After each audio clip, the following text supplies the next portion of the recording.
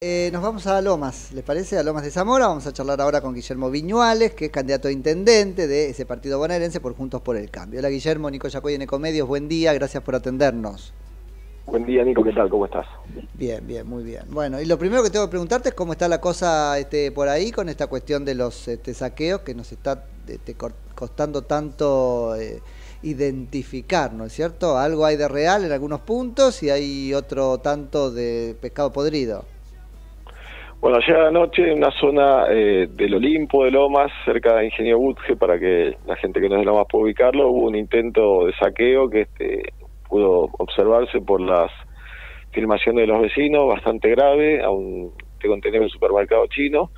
Eh, llegó la policía y se evitó, pero bueno, acá se han visto escenas parecidas a las que hemos visto en otros lugares, sí, sí, claramente. Y ellas reales. Sí, sí, eso puedo aportarte las imágenes más tarde si Ok, dale, dale, dale. desde la noche ayer más o menos. Ok, no, me alcanza, me alcanza con este, tu palabra, si nos das las imágenes bárbaro, pues las podemos transmitir, pero pero está bien. Che, ¿y qué, qué vos que conocés un poco este, el, paño más que nosotros, ahí qué, qué podés este, contarnos? ¿De dónde surge esto? ¿Qué tan organizado está? Eh, yo creo que em, lo que pasó ayer en Lomas es un poco una síntesis de lo que puede estar pasando en otro lugar del conurbano que es una combustión de sectores eh, sociales eh, muy comprometidos eh, económicamente, es decir, con 200% de inflación, zonas donde el narcotráfico se hace fuerte, donde no hay clases en muchos lugares. Hay a dos cuadras, por ejemplo, donde sucedió eso, hay una escuela pública que hace tres días que no tiene clases porque todavía no se fue el agua de la lluvia de la puerta. Entonces, un poco ese mensaje, ¿no? Tenemos no tenemos educación, tenemos eh, inflación eh, altísima, tenemos sectores muy asistencializados, tenemos delincuencia, narcotráfico y probablemente en algunos casos instigados por algún sector político. No me consta, pero bueno, están todas las condiciones para que los hechos sucedan de esta manera. Menos todavía te consta, te consta este, qué sector político. Sí, e, e, eso es difícil de desentrañar. Lo que tengo muy en claro, incluso por el resultado electoral, que no son lugares donde un dirigente opositor pueda este, decirle a la gente lo que tiene que hacer. Eso lo tengo clarísimo, porque conozco bien la zona, y más allá de que son lugares donde en esta última elección mi ley ha crecido, son zonas históricamente dominadas por el oficialismo, por el kirchnerismo, así que si, si hay operación política, está claro de qué sector viene. Porque además es el único que puede, que, que tiene, si querés, expertise para semejante cosa y potencia, ¿no? Atribuirles a usted como oposición la capacidad de hacer esto me parece una desmesura. Disculpame que lo diga así, no solo es por convicción, es por incapacidad. No les da la tecnología política para eso, por suerte. sí, y aparte no son, la, oposición no está acostumbrada a desarrollar ese tipo de, actividades y no tiene cómo hacerlo, tal cual. Eh, pero lo, lo, que digo es que la, la, combinación de todas estas cuestiones socioeconómicas, más justamente la presencia, ¿no? Lomas tiene 41 mil planes, por ejemplo. Eh, ¿Quién administra esos planes? No los administra junto por el cambio.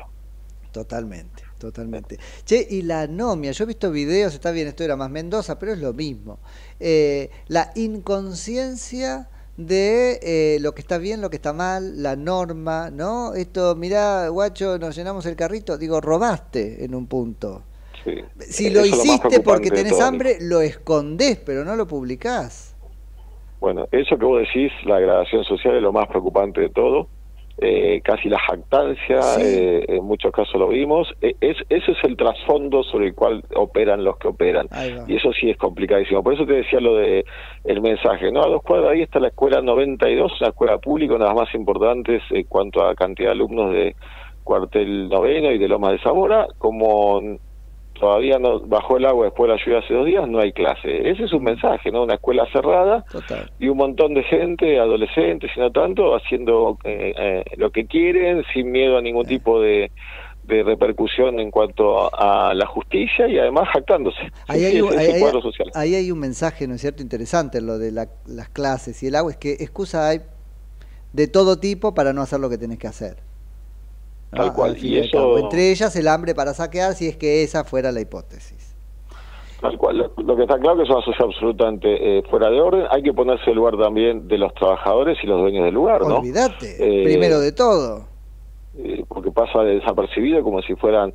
Cuando uno ve las imágenes, sobre todo de José Cepaz, de cómo quedó ese supermercado después, realmente son imágenes que a uno le duelen, ¿no? Porque eh, viendo a algunos sonriéndose, otros eh, dándole la justificación, eh, no la justificación, pero siempre tratando de echar la culpa al otro y viendo cómo le queda eso a una persona que está trabajando y que generalmente son lugares que están abiertos los siete días a la semana. Completamente de acuerdo. Guillermo, no quiero que esto monopolice la charla porque, bueno, candidato, ahora sí, con todas las letras, a intendente Lomas este, de Zamora, ¿cómo te preparas para esa carrera y con qué posibilidades?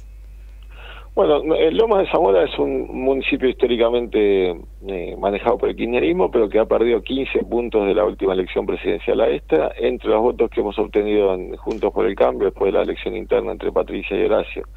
Y Avanza Libertad, sin contar otras fuerzas menores, hay más del 51% de los votos. Nosotros consideramos que desde la mano de, Patricia Burrito, que es la, nueva conducción de Juntos por el Cambio, podemos hacer una gran convocatoria a los lomenses para para dar vuelta a la página del kirchnerismo del conurbano, que es fundamental para el futuro de la Argentina. Sin un cambio en el conurbano no hay cambio posible en la Argentina. Y bueno, este es uno de los bastiones de la tercera sección electoral. Por lo tanto, hemos hecho una elección importante, una, una interna dura que probablemente a muchos vecinos y a muchos argentinos no les haya gustado. Nosotros eh, respaldamos al sector de Horacio y el Colo Santilli, ganó Patricia, se está definiendo la cuestión provincial. Obviamente ahí estamos desde el primer día porque son las reglas del juego, además tenemos una buena relación ¿qué, ¿qué para vos ese se está definiendo la cuestión provincial? Que todavía está el escrutinio abierto. Ah, sí, sí, yo lo veo ahí a Santilli como esperando. Dicen que no tienen esperanza de revertir, pero este, la, posición pública, la pose pública da a entender que sí albergan esa esperanza. No reconoció la eh, derrota públicamente, nunca más lo vimos bueno, yo creo que eh, eh, eh, tiene una ventaja Grindetti, eso está claro, sobre el 96% de los votos. El escrutinio es muy cerrado, son menos de 20.000 votos en toda la provincia y no está terminado. En cualquier caso, me parece que fue un gran mensaje el de ambos el domingo a la noche, casi abrazados, diciendo, bueno, lo que digan las urnas así será. Eh, pero como técnicamente todavía está abierto y se está haciendo el recuento, eh, no me queda otra que, decirlo de esa manera. Estamos tan, tan enredados en esta historia que ya uno no sabe si le sería... A ver, objetivamente Santilli es un candidato más competitivo que Grindetti.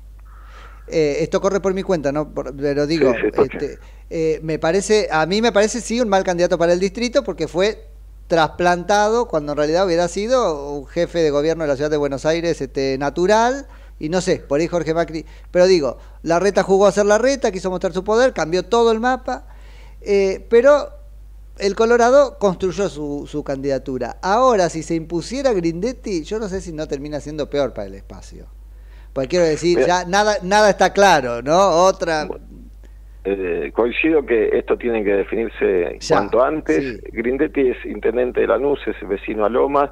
Cuando nosotros, porque somos un sector que, que no viene de Juntos por el Cambio originalmente, que nos hemos sumado hace tres años, venimos del peronismo, Grindetti nos dio la bienvenida, después nosotros nos sumamos a la generación de, de Horacio y el Colo, nos parecía, hay que ser sincero, nos parecía que era la la alternativa para superar la grieta. Claramente la sociedad argentina está viendo otra cosa y la gente está delante de los dirigentes. Así que cuando Patricia planteó, creo que se anticipó a lo, que estaba pasando, eh, incluso en sus spots, ¿no? que esto va a ser una va a ser bravo y que va, a hacer falta alguien con mucha personalidad, con mucha experiencia, que esto no lo puede manejar cualquiera. La gente lo entendió.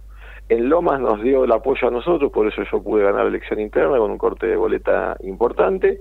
Y Patricia fue quien nos dio, te decía Grindetti, pero a nivel nacional fue quien nos dio la bienvenida hace tres años. Así que nosotros vamos a acompañar intentando que la gente tome conciencia de que en la provincia de Buenos Aires y en los municipios no hay balotaje, que por un voto Kisilov, que este, puede quedarse como gobernador y los intendentes de los famosos varones del conurbano pueden quedarse también como intendentes. Ese es todo un tema. Eh, y no está mal que lo hagan, digo, yo asumo esa parte como votante bonaerense. ¿Nos van a dejar la pelota a nosotros o este, hay alguna posibilidad de que la política lo acomode y vea cómo este, funde en una sola la oferta este, píparo, bueno, hasta ahora Grindetti?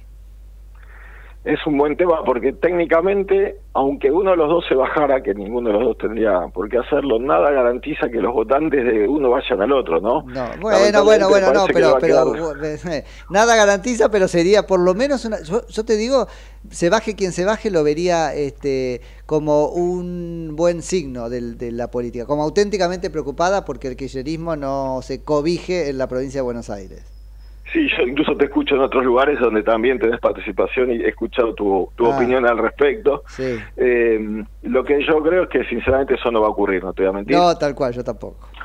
y que van, van a tener que ser los vecinos los que decidan en cada nivel qué es lo que quieren. Es fundamental que el próximo gobernador no sea Kisilov y nosotros creemos que los próximos intendentes no sean kirchneristas. Acá en Lomas, Juntos por el Cambio sacó casi el 30% de los votos, la Libertad avanza un poco menos, pero se dio el hecho de que por la, sumatoria de ambos, por primera vez, superan holgadamente a los votos que sacó el kirchnerismo. Entonces, vamos a nosotros convocar al menos a que nos acompañen y supongo que lo, mismo harán otros, y serán los vecinos los que decidan. Ahora, es muy importante en el modelo de país que tenemos a futuro que el kirchnerismo no quede atrincherado en el conurbano y en la provincia de Buenos Aires, porque va a ser muy difícil. Totalmente, totalmente. Eh, ni en aerolíneas, ahora descubrimos que esas también pueden ser, este algunas cuevas las llamaron en el comunicado, me, parece que está bien. Guillermo... Hay por todos lados. Eh, por todos lados. La seguimos en cualquier momento, dale, que me quedo sin tiempo. Gracias por tu oportunidad. Un abrazo. Abrazo grande. Guillermo Viñuales, que es candidato a intendente de Lomas de Zamora por Juntos por el Cambio.